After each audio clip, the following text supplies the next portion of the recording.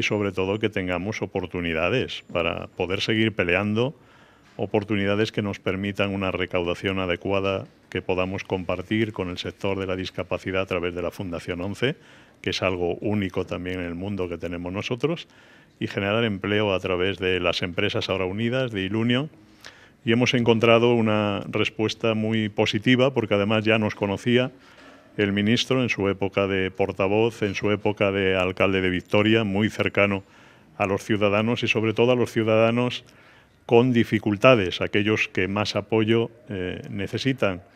a través de la comprensión.